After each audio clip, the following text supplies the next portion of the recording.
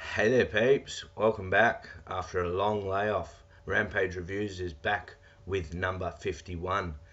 Uh, 2014 film, Matthew McConaughey film, probably the greatest actor on the planet at the moment. Interstellar.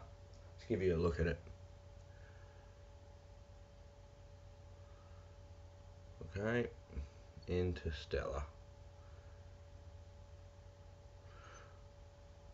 What a movie. okay, so Interstellar is about a post apocalyptic world. Um, PG rated film, mind you. Um, yeah, post apocalyptic world where um, everybody is farmers because the world is covered in a big, thick blanket of dust and the human race could well be extinct quite soon.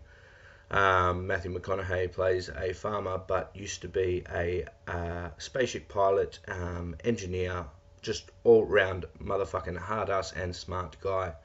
Um, basically, stumbles upon uh, the last NASA airbase, and they want him to basically find a new planet through a black hole and make a new world so people can live.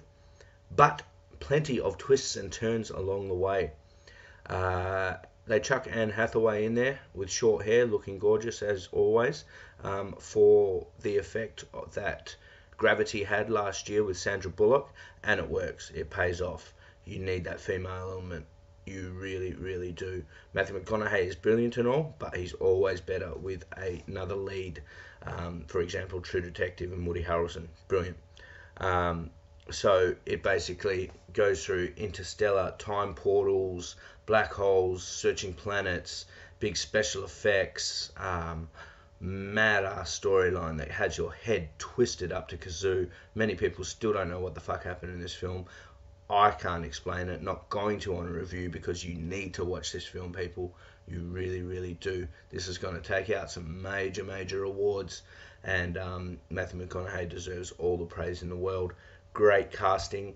Um, oh, just just wait till the last half hour. Holy shit, your head it absolutely brilliant. There's not enough I can say about this film.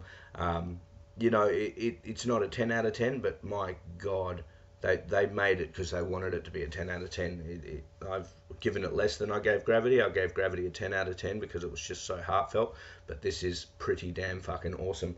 And people tend to agree with me critics have given it a 7 out of 10. Um, you know, just because they like to criticize shit. Um, but the rest of the world has given it close to a 9 out of 10. It's got an 8.9 out of 10. That's huge. This could go down in history as even better as than the um, the Dark Knight. It's pretty fucking awesome for PG 13. Um, I've given it an 8 out of 10. Interstellar. Matthew McConaughey. Get out and watch it.